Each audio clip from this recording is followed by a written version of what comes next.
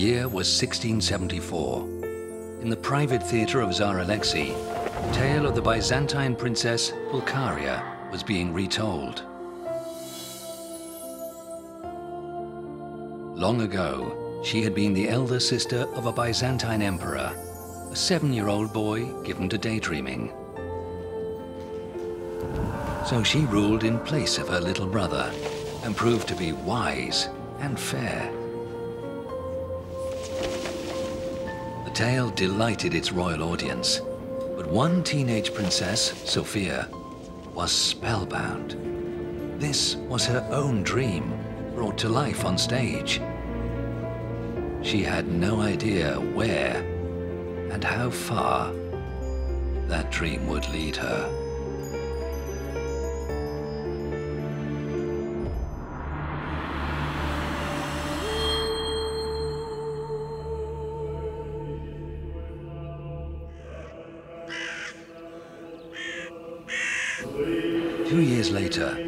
Tsar Alexei's eldest surviving son took the throne as Fyodor III, the House of Romanov seemed secure and stable. The succession was not in dispute.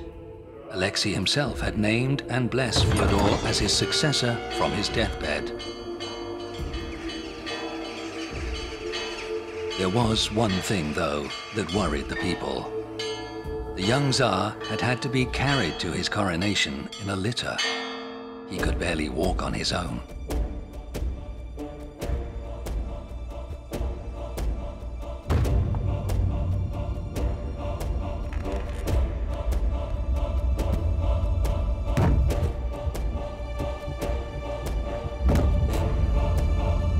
As Fyodor ascended the throne, many had court openly hinted that the young Tsar was not long for this world.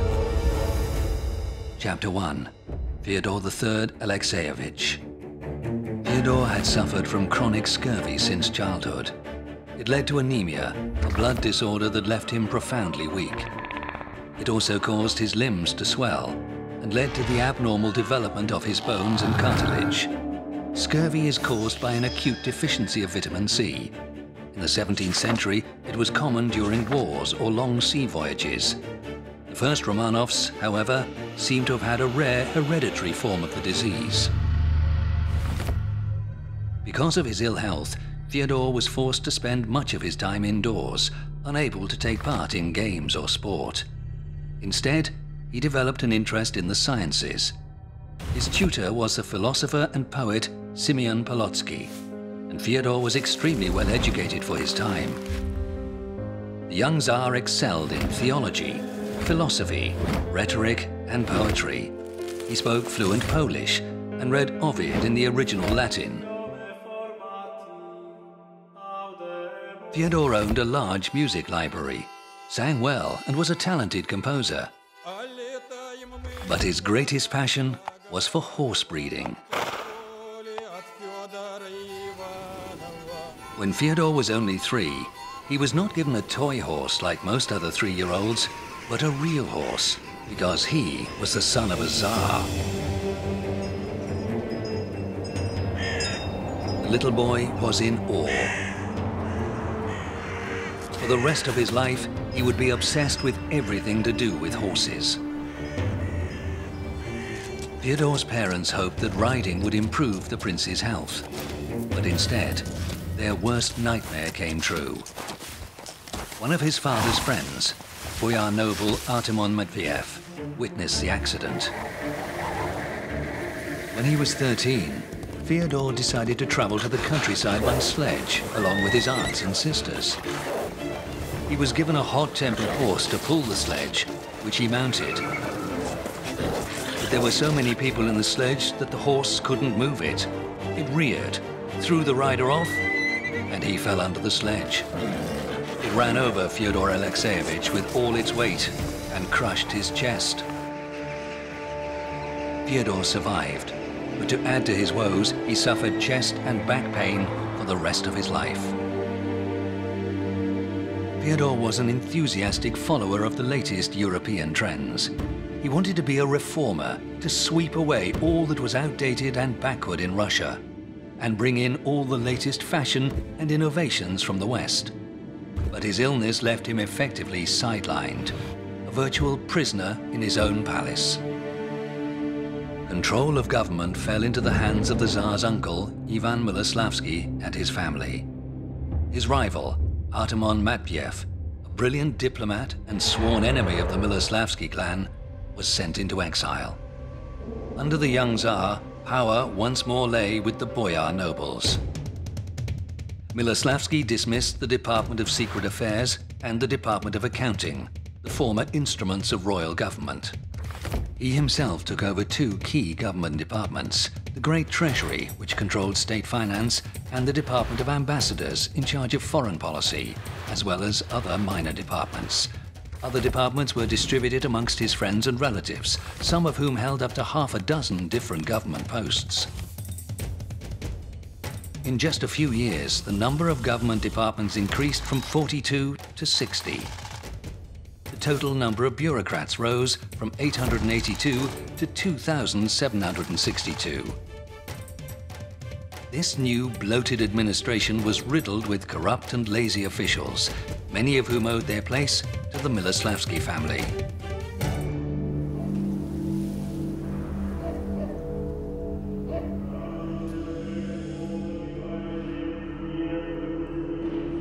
Was love at first sight.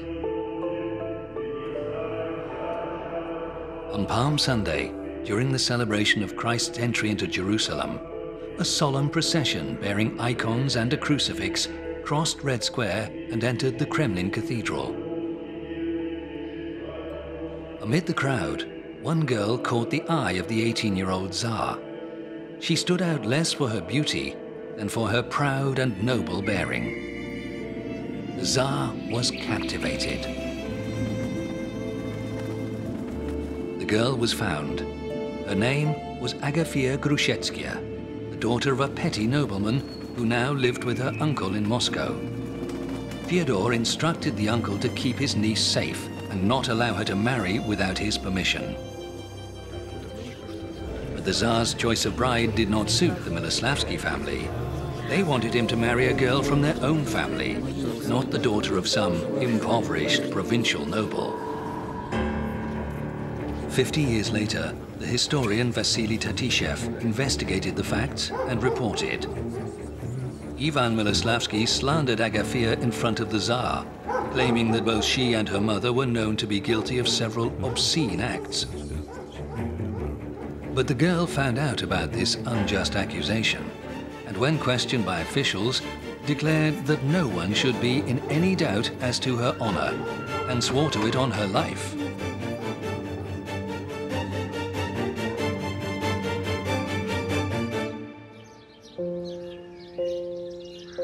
Reassured by this news, the Tsar decided to pay a secret visit to his chosen one. He took a trip through the hills outside Moscow, so on his way back he could pass by Agafia's house as if by accident. Agafia's relatives told the girl to stand in the window, and for the first time, their eyes met.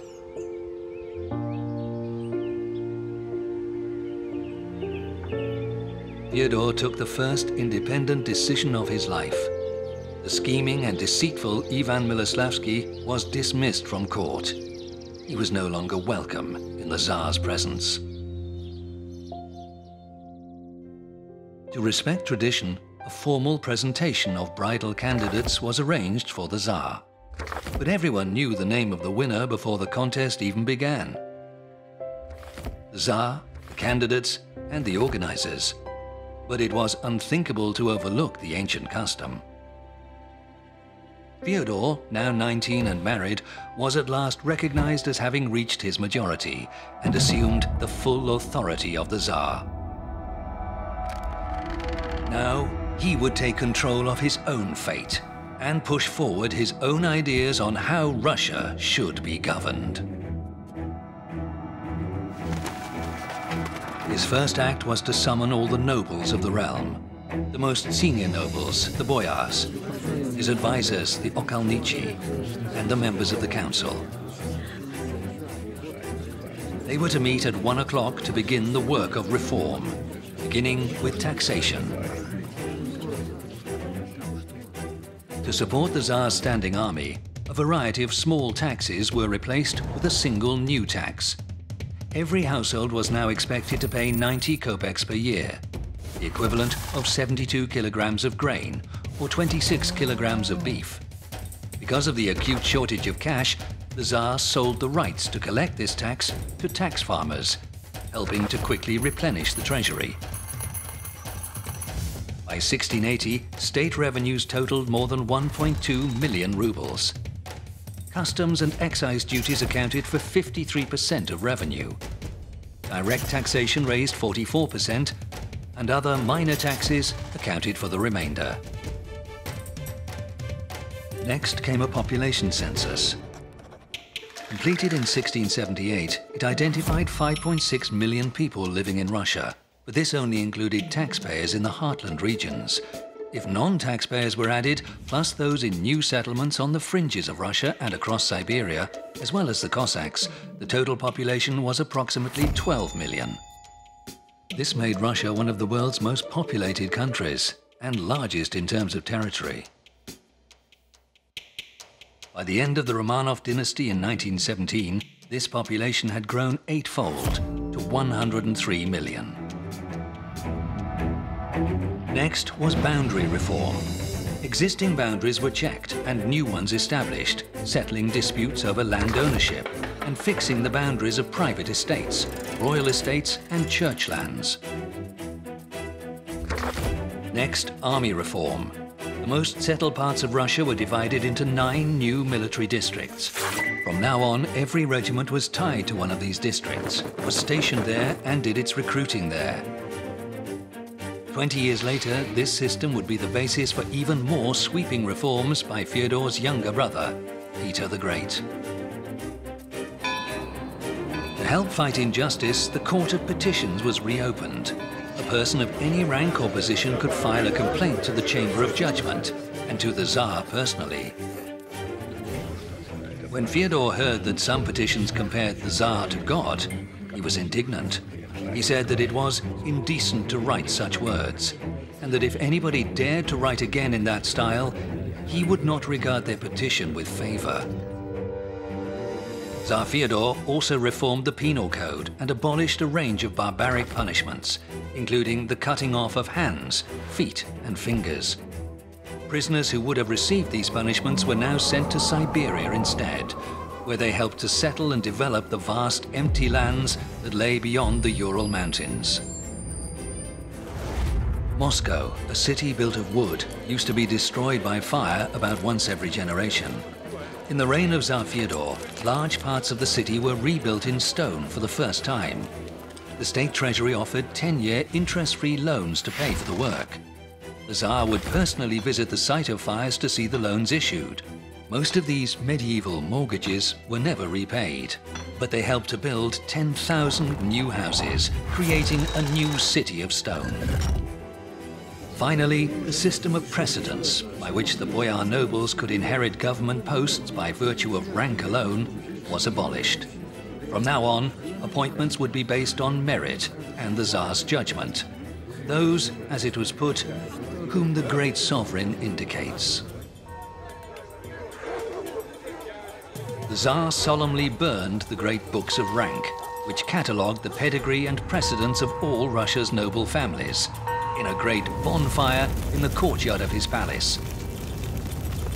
The Tsar had ushered in a new age in which good government took precedence over the boyar's ancient privileges. Tsar Fyodor was a man in a hurry. He introduced Polish fashion at court. Some courtiers even began to shave their beards. He encouraged the founding of Russia's first university based on European lines. He built a fortress at Izium to guard the southern border against Tatar raids and opened the first state almshouses in Russian history. He began work on reforming the courts. Sometimes it seemed his illness had deserted him. But it never entirely left him. Theodore knew it was a race against time, and there was much work to be done. War in the south against the Ottoman Turks and Crimean Tatars proved costly. It was a conflict that might have been avoided with the help of Artemon Matveyev, the Tsar's most experienced diplomat, but for now, he remained in exile.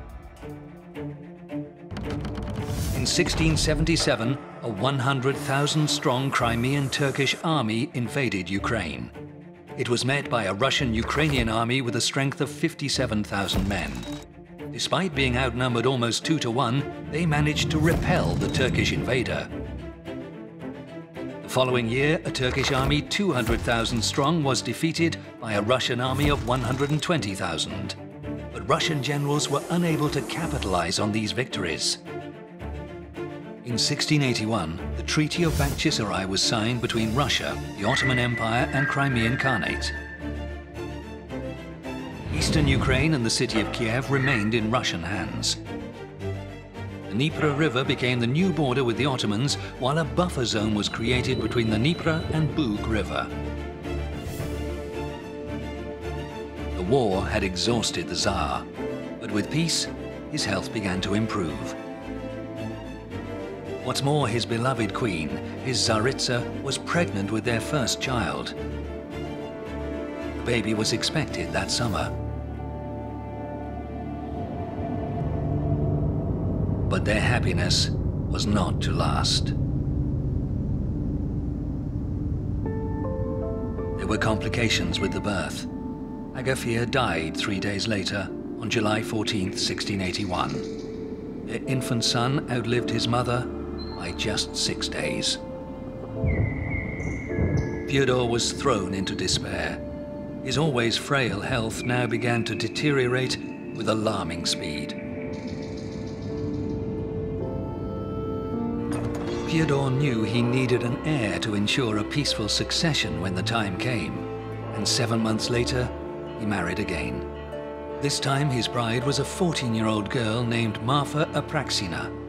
Fyodor did not even have the strength to stand during the wedding ceremony. Just 10 weeks later, he was dead at the age of 20. His final decline was so rapid, he didn't have time to leave instructions about his succession.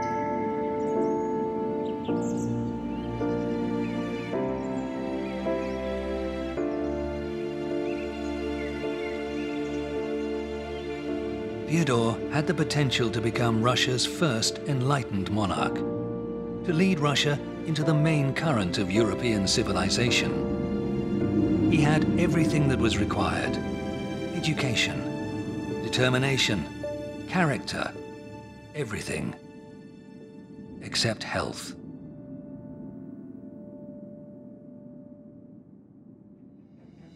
Tsar Fyodor III ruled Russia for just five years, but in that time he created the basis for one of the strongest armies in the world, introduced a system of social welfare, reduced taxation, expanded the borders of his realm, transformed Moscow from a city of wood into a city of stone, and laid the foundations of a secular system of education. He approved the foundation of Russia's first university, but died before he could sign the charter. Fyodor's death paved the way for a power struggle between two boyar families. The Miloslavskis, relatives of Tsar Alexei's first wife, the late Tsaritsa Maria, and the Naryshkins, the family of Alexei's second wife, Natalia. The Miloslavskis' candidate for Tsar was Maria's son, Prince Ivan, a 15-year-old boy, half-blind and disabled. The Naryshkins supported Natalia's son Peter, healthy and clever, but only 10 years old. An hour after Fyodor's death, the Boyars' Council, with the support of Patriarch Joachim, declared Prince Peter to be the new Tsar of Russia. His mother's family, the Naryshkins, seemed to have won the day. For those at court, it meant one Boyar family was out and another was in. But for one person, it spelled the ruin of all their dreams.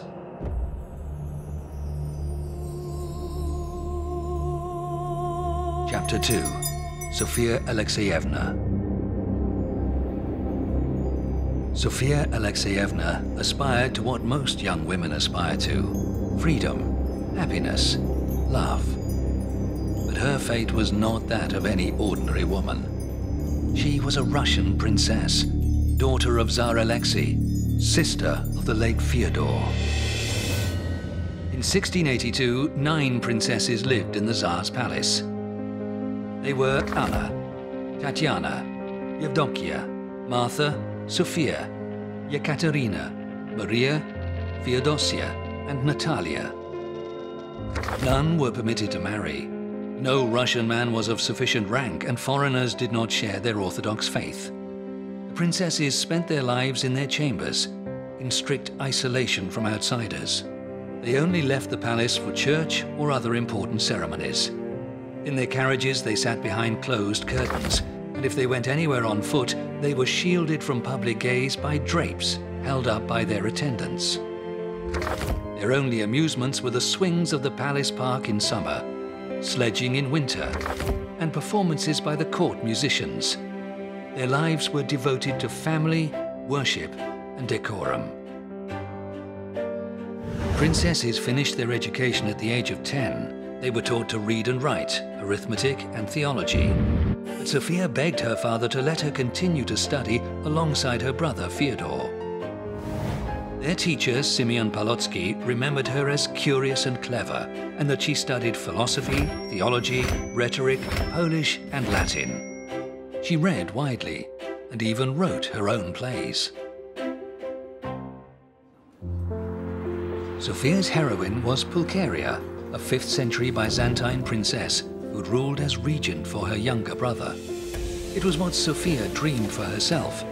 Her brother, Tsar Fyodor, had occasionally listened to her advice, but no more. His death gave Sophia a long-awaited chance. Sophia was counting on her disabled brother Ivan becoming Tsar. Then she could become the Russian Pulcheria and rule for him as regent. But the Naryshkins were about to thwart this plan by placing Peter, not Ivan, on the throne. So Sophia decided to intervene. Her plan centered on the Streltsy, musketeer units that were the core of the Russian standing army. There were 26 regiments, 22,500 men stationed in Moscow. Their privileges included not having to pay taxes and being allowed to carry out private business when not on active service. A private soldier was paid between 3 and 5 rubles a month, equivalent to between 600 and 1,000 US dollars today. An officer was paid four times as much, between 15 to 20 rubles a month, while a colonel made between 30 and 60 rubles. Some unscrupulous colonels dipped into their soldiers' wages to augment their own pay. Streltsy wages were paid irregularly and late. Officers not only skimmed off some of their soldiers' pay, they sometimes made them work like serfs on their own estates. Streltsy had been pushed to breaking point. A situation Princess Sophia planned to use to her advantage. Meanwhile, the Naryshkins' most able supporter, Artemon Matveyev, had just returned to Moscow from exile. This news persuaded Sophia to act without delay. Her supporters told the Streltsy that the Naryshkins had poisoned Tsar Fyodor and strangled his son, Prince Ivan. At the insistence of Patriarch Joachim, Princes Ivan and Peter, both perfectly well, were shown to the public. But the Streltsy were out for blood. They broke into the palace looking for the Naryshkins and their supporters. Prince Ivan hid in a corner, while Prince Peter clung to Artemon Matveyev. The Streltsy pushed the young prince aside and dragged Matveyev away. A servant of the Patriarch witnessed the revolt and later described the scene. Artemon Matveyev was hacked to pieces. Boyar Yuri Dolgorukov was dragged behind the gates and stabbed to death. The next day, his body was also cut into pieces. The Streltsy ransacked the treasury and entered the Tsar's chambers with weapons, looking for boyar nobles to kill. They smashed down a door to the Patriarch's chambers and threw his steward from the window, where he hanged from the end of a rope.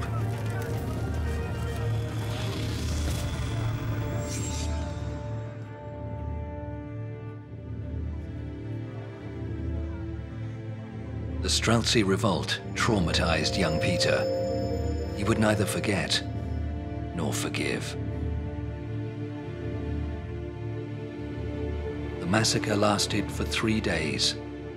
The victims included prominent Naryshkin supporters, including two of Prince Peter's uncles, two government ministers, Tsar's personal doctor, and about 100 others.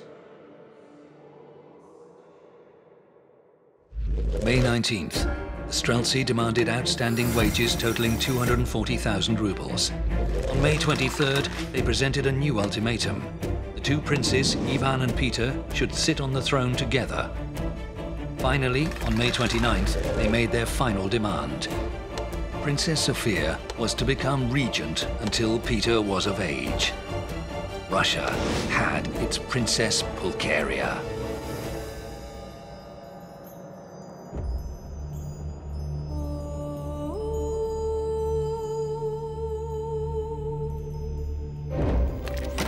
Sophia was playing with fire. Just six weeks before, Peter had been proclaimed Tsar, and the Streltsy had sworn allegiance to him. Now they had butchered his close relatives and handed power to her. The princess had used armed men to clear her path to power. She wasn't the last to do so in Russia, but she went down in history as the first. The new Princess Regent realized her position was extremely precarious and moved quickly to shore up her support.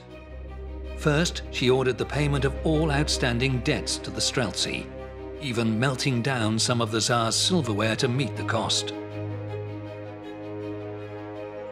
Then Sophia gave all the key posts to her allies. The ambassador's department, which handled foreign affairs, was given to her favorite Count Vasily Golitsyn. Streltsy, Reiter Cavalry and Great Treasury departments, effectively control of the army as well as state finances, were given to Count Ivan Khovansky, nicknamed the Windbag. Khovansky, a veteran general and favorite of the Streltsy, soon realized that his new position gave him almost unlimited power, a temptation he could not resist. So began the Khovanshchina, the bloody summer of 1682, when power in Moscow resided with Khovansky and his Streltsy troops. The Russian capital had been occupied by its own army. Princess Sophia had unleashed a dangerous power struggle that threatened to topple Russia into anarchy. Thankfully, the Streltsy were not the only military force in Russia. Now, she would turn to the nobles.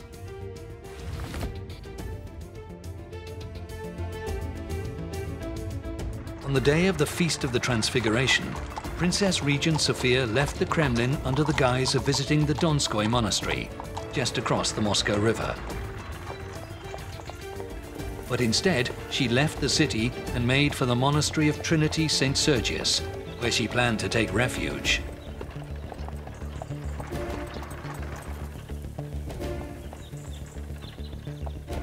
From the safety of the monastery, Sophia sent letters across the land, condemning this new Streltsy revolt and summoning all loyal nobles to her aid. By the end of the 17th century, the nobleman's army or militia totaled 14,500 men. This amounted to 10% of the army. These men had received their lands in exchange for military service. Each year they were expected to turn out for review mounted on their own horse, equipped with their own arms and accompanied by several armed serfs. They were obligated to join the army on campaign whenever required. The main part of the army, 77,000 men, or 50%, were the so-called regiments of the New Order. These were Reiter, Dragoon and Hussar cavalry units, made up mostly of foreign mercenaries. The troops now in revolt, the Streltsy Musketeers, made up 35% of the army.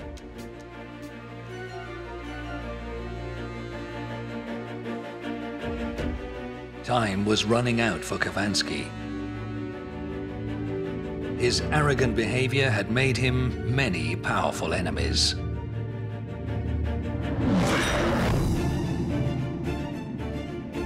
The Princess Regent's agents caught him in a tavern and brought him to their mistress outside Moscow.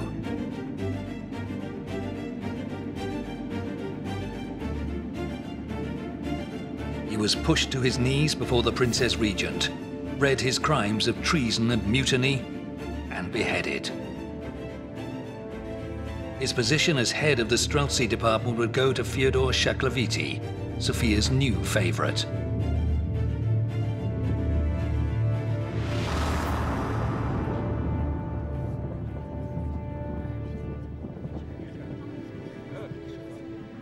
The Streltsy revolt was over.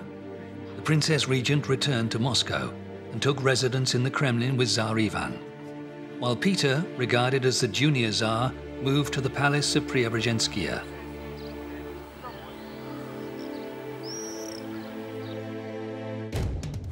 village of Preobrazhenskoye covered an area of 22 desiatinas, or 24 hectares. A wooden palace had been built there 20 years earlier, and was the furthest royal residence from the Kremlin. Moscow's foreign quarter lay between the Kremlin and the palace.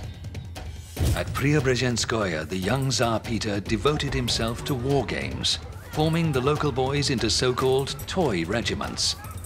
They would one day grow up to become the famous Preobrazhensky Guards Regiment. A fragile balance was achieved with Tsar Peter and his mother living at their country palace and Sofia and Tsar Ivan living in the Kremlin. A double throne was made for the joint rulers with a small window at the back.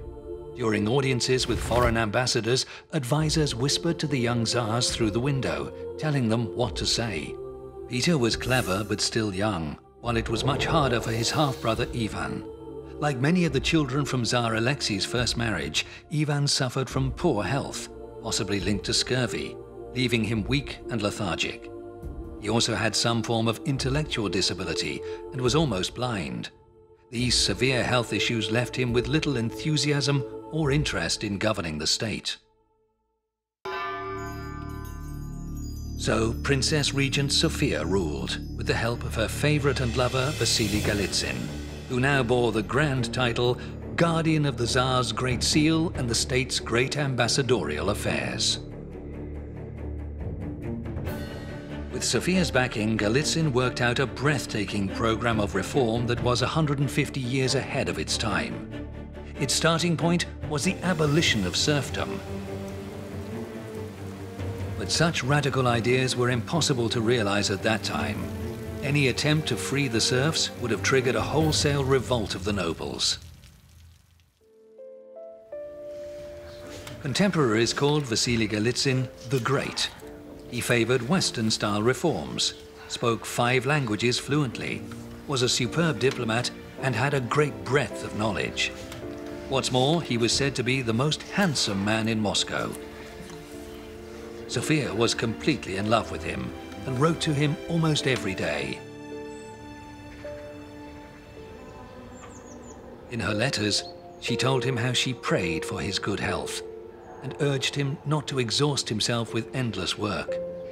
Her gratitude, she wrote, was impossible to express. Without him, none of her achievements would have been possible. Galitzin urged Sofia to continue her brother Fyodor's reforms, but she never fully grasped the need for such changes. What's more, she faced stubborn opposition from the boyar nobles.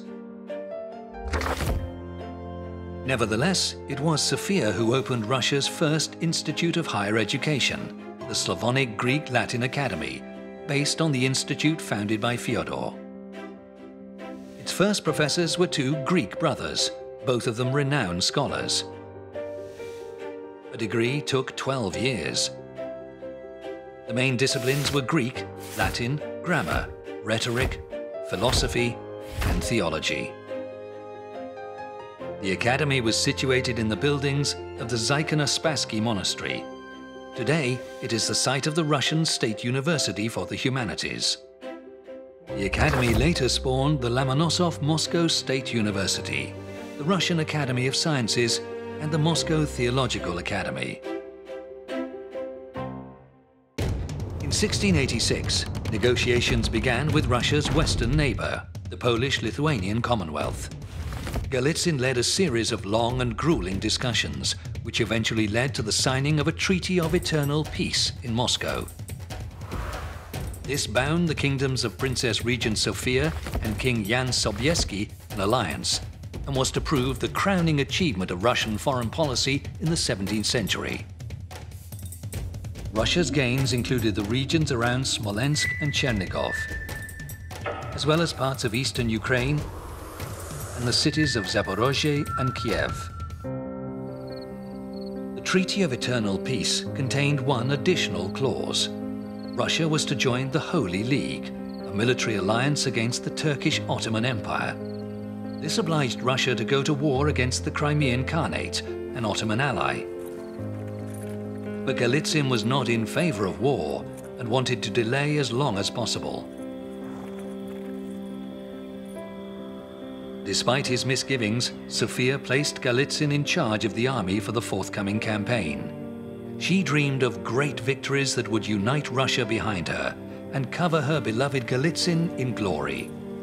No sooner had he left for the front than Sophia began to write to him. In her letters, she called Galitzin by his pet name, Vashenka, and worried endlessly about his safety. It was only when she embraced him with her own arms, she wrote, that she would know peace again. In May 1687, a 100,000 strong Russian army joined forces with Don and Zaporozhye Cossacks and advanced towards the Isthmus of Perekop. They found the fields had all been burnt, leaving no food for the horses. Some said it was the Cossacks, not the enemy, who burnt the land, in fear of Russia's growing power. The campaign was cut short. The next year, an even bigger Russian army advanced south. The war's only battle was fought on May 15th, after which the Tatars retreated and the Russians advanced to Perekop. When the news reached Sophia in Moscow, she was ecstatic. Her letters back to Galitzin overflowed with love and adulation, and longing for the day they would be reunited. Galitzin, however, could advance no further. In fact, he was already on his way back to Moscow. The scorched earth tactics of his enemy had starved his army of food and water, leading to the loss of half his men, even though there had been no major battles. The campaign was, in fact, a complete disaster.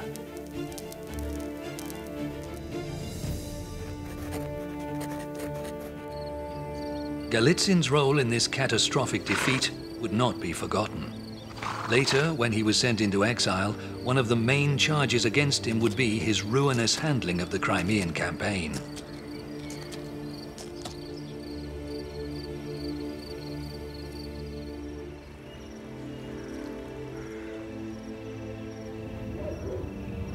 The eve of the debacle, he suffered the worst blow of all, the betrayal of his beloved. While Galitzin was away fighting, Sophia had fallen for another man, the cynical and scheming Fyodor Shaklovity. To flatter Sophia, he had brought the famous Ukrainian artist Alexander Tarasevich to Moscow to paint her portrait. He depicted the princess wearing a regal crown, scepter in hand, and behind her a double-headed eagle.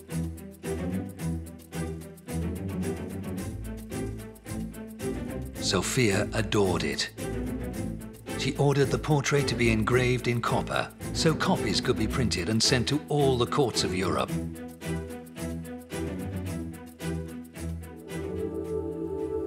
By now, Sophia was styling herself by the grace of God, the great sovereign lady, the pious Tsarevna, the great Princess Sophia Alexeyevna, autocrat of the Great, the Little, and the White Russias. At state ceremonies and ambassadorial receptions, she no longer felt the need to stand at a respectful distance behind the Tsar's throne.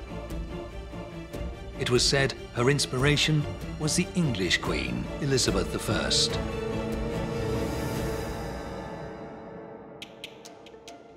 As soon as Tsar Ivan turned 18, Sophia arranged his marriage to the 20-year-old Praskovia Saltykova. Sophia was counting on the birth of a male heir to cement the Miloslavsky branch of the Romanov dynasty in power. The rival Naryshkin branch had, of course, had the same idea. Peter was not quite 17 when his mother, the Dowager Tsaritsa Natalia, married him off to the 19 year old Yevdokia Lopukhina. She was neither clever nor educated, but healthy. The outcome of these marriages would shape the future of the Romanov dynasty for generations to come. Ivan and Praskovia had five daughters, but only three survived infancy Yekaterina, Anna, and Praskovia. Anna later became Empress of Russia. Yekaterina's daughter Anna Leopoldovna became regent for the young Ivan VI, but he was the last male of the Romanov-Miloslavsky line. Peter and Yevdokia had three sons, but only the eldest, Alexei, lived. His son became Emperor Peter II, but he was the last male of the Romanov-Naryshkin line. On May 30th, 1689, Tsar Peter came of age. Sophia was now supposed to step down as regent, but she had no intention of giving up power. Instead, Shaklovity began spreading false rumors amongst the Streltsy regiments, claiming that the Naryshkins planned to assassinate Sophia and Tsar Ivan and send the Streltsy away to garrison remote fortresses. The Streltsy were unhappy, but would not risk open revolt. Then Shaklovity let it be known that those who joined his conspiracy would be paid. Two rubles for each private, ten for each officer, 100 for each colonel, plus the right to plunder the houses of their victims. Moscow was on a knife edge. On the night of August 7th, loyal Streltsy officers arrived at Peter's palace. They told him that Shaklovity was planning to use the Streltsy to murder Peter and his family. Peter reacted with horror and outrage. Before fleeing to safety, he wrote a letter to Ivan, his brother and joint ruler. Our sister, Princess Sophia, runs our country as she wills. Bandits like Shaklovity and his friends plan to murder us and our mothers. Now, Brother Tsar, we shall rule our country on our own, since we are both men. Our sister has nothing more to do with it. It is shameful, Tsar, to be men and to have someone else rule in our place.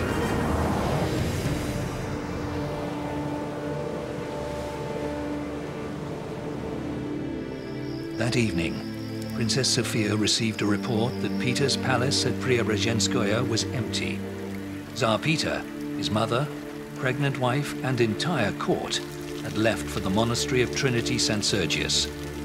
His so-called toy regiments now composed of young men, followed him there, together with one loyal Streltsy regiment. Rumors began to fly around Moscow.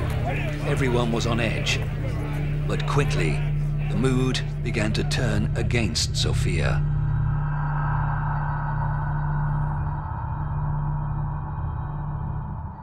August 13th, Sophia sent an emissary to Peter, Boyar Ivan Troyekurov, the young Tsar would not negotiate. August 16th, Boyar Peter Prozorovsky visited the monastery with the same result. August 20th, Sophia begged Patriarch Joachim to visit Peter. He went, but did not return. He stayed with Peter. Boyars, officials, and even Streltsy began to flock to Peter's rival court. August 27th, Sophia left to negotiate with her brother in person. She realized that she shouldn't, that her humiliation would likely be in vain, but she could not simply sit and wait. Six miles from the monastery, near the spot where she had had the Streltsy leader Khovansky executed seven years before, she was met by Troyekurov, her own emissary from just two weeks ago. He handed her Peter's order to turn back. August 31st, Sophia returned to the Kremlin, where she gathered the Streltsy in the square. She told them that Peter's advisors sought to divide them by inventing plots against Peter's life, but that she was confident of their loyalty to her. But her speech made little impact. only loyal Shaklovity remained by her side. September 4th, the foreign regiments under General Gordon went over to Peter's side. September 6th, Streltsy arrested Fyodor Shaklovity took him to Peter for sentencing.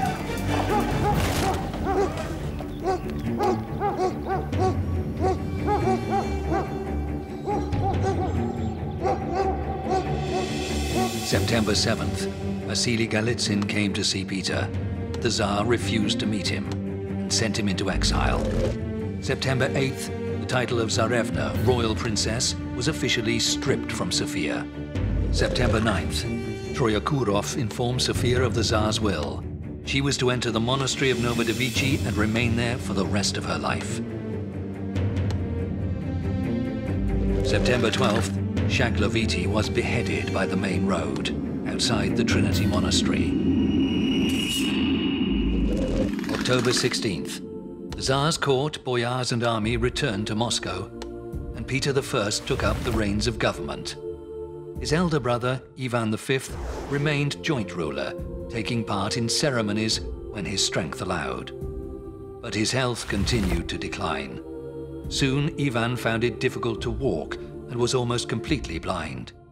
He died seven years later, on February the 8th, 1696, aged just 29. Princess Sophia lived under guard in a tower of the Novodevichy monastery. She received food from the Tsar's table, as well as an allowance of 2,600 rubles a year, the same as the other royal princesses. A small staff of servants lived with her, an old nanny, two clerks and nine maids. For nine years, Sophia lived quietly in the monastery, reflecting on her years of power and the fate of her two lovers, one executed, the other exiled to the north. But she also continued to intrigue, exchanging secret letters with her supporters. In June 1698, Peter was in Holland learning to build ships.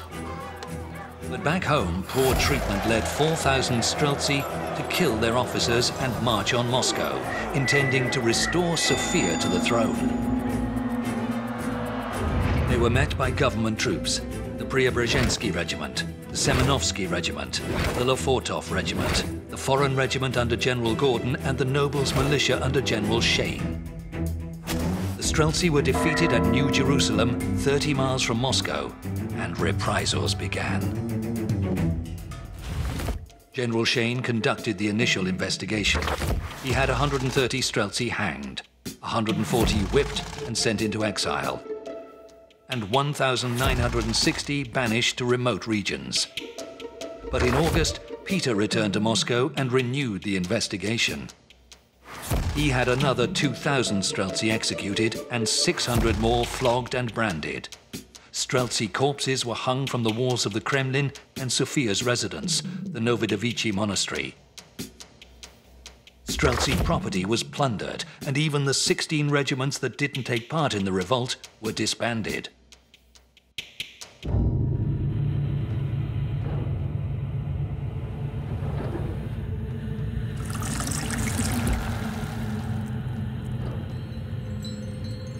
Princess Sophia was forced to take the veil under the name of Susanna. Boyars close to her were interrogated and then banished to distant monasteries. Her allowance was slashed, her staff changed, and security tightened.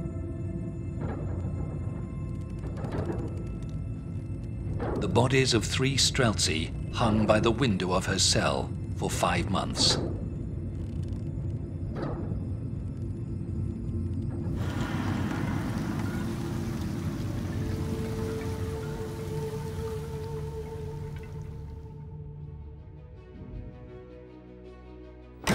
Once, she had struck terror at court, won the favor of any man she wanted, held the power to invoke and quell revolts, waged wars, and concluded brilliant peace treaties. She dreamed of becoming a real ruler, like the Byzantine princess Pulcheria, whose tale had captivated her as a child.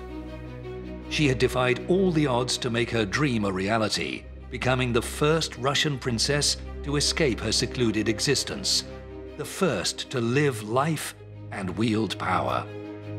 But in the end, her downfall was complete. For seven years of rule, she spent 15 years in a monastery cell. She died in 1704, aged 46, and was buried in the cemetery of the Novodevichy monastery. By the time of her death, great changes were sweeping over the country she had once ruled. Changes that would transform Russia forever. The history of the old Russian state was at an end. The history of a new Russian empire was beginning.